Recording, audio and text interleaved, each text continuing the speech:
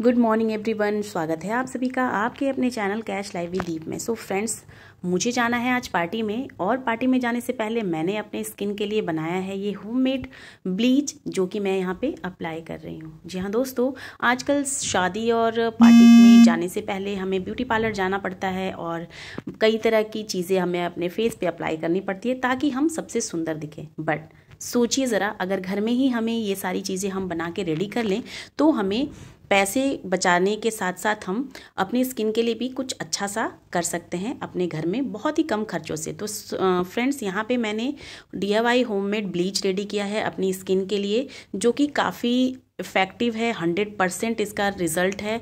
और ये अगर आप एक बार लगा लो और लगाने के बाद आप कहीं पार्टी में जाओ तो हंड्रेड परसेंट मैं श्योर हूँ कि सब आपसे ज़रूर पूछेंगे कि कौन सा फेशियल आपने कराया हुआ है। तो चलिए फिर मैं बताती हूँ कि मैंने ये होममेड ब्लीच कैसे तैयार किया है। इसके लिए सबसे पहले मैंने यहाँ पे जो चीज़ें ली हैं, वो है आधा कटा हुआ खीरा और साथ ही मैंने यहाँ पे लिया है आलू, जिसको मैंने छील लिया है और छील के वॉश कर लिया है। खीरे को मैंने छीला नहीं है, ऐसे ही मैंने लिया हुआ है। तो ये मैंने आधा आलू और आधा यहाँ खीरा लिया हुआ है। अब इन दोनों को मैं ग्रेट कर लूँगी, क्योंकि मुझे इसका चाहिए जूस।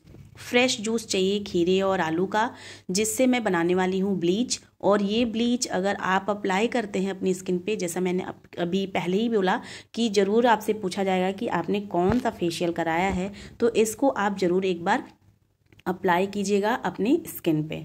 तो यहाँ पे मैं ग्रेट कर लेती हूँ।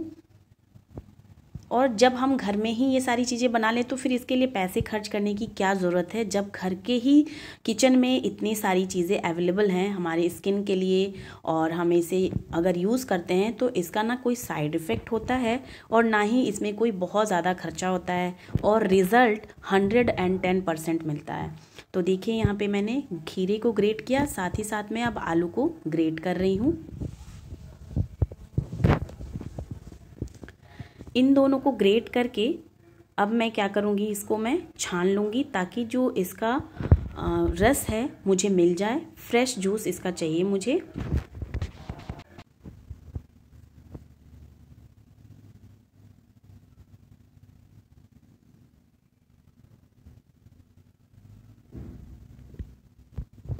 ये देखिए, मैंने इसे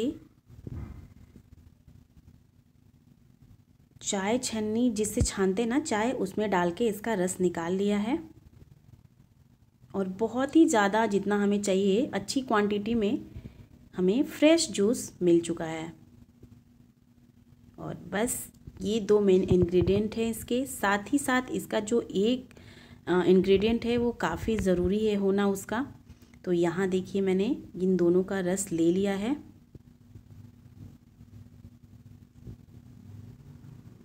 और अब इसमें जो नेक्स्ट चीज़ जानी है वो है rose water rose water optional है, अगर आपके पास है तो आप यूज़ कीजिएगा अदरवाइज़ स्किप कर सकते हैं। लेकिन मैं यहाँ पे रोज़ वाटर यूज़ कर रही हूँ। तो एक चम्मच मैं यहाँ पे रोज़ वाटर ले रही हूँ। साथ ही जो नेक्स्ट है, वो है एलोवेरा जेल एलोवेरा जेल ज़रूरी है, इसको स्किप करने की ज़रूरत नहीं है। ये ज़रूर अप्लाई कीजिए, डालिएगा इसमें। ऐड कीजिएगा। ये भी मैंने एक चम्मच के करीब लिया हुआ है। इन तीनों चीज़ों को अच्छे से, सॉरी, चार चीज़ों को अच्छे से फेंट के मिक्स कर लेंगे।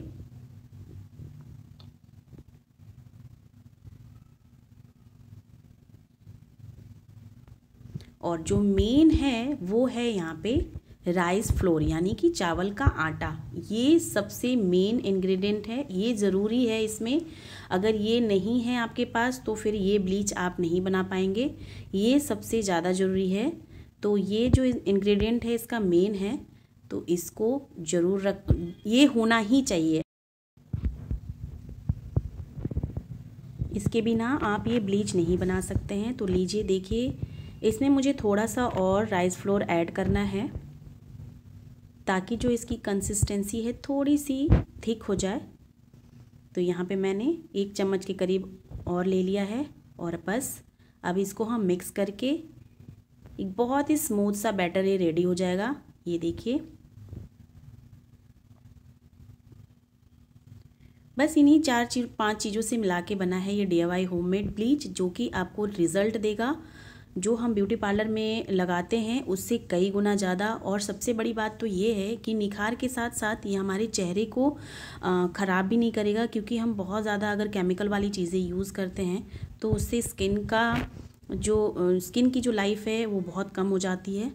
तो ये जो है नेचुरल ब्लीच, जिसे आप घर में बना सकते हैं और ये आपको बहुत ही सुंदर सा निखार देगा आपके चेहरे को। तो शादी पार्टी में जाने से पहले बस एक बार अप्लाई कर लीजिए इसको। तो देखिए, अब मैं अप्लाई करके दिखाती हूँ इसका रिज़ल्ट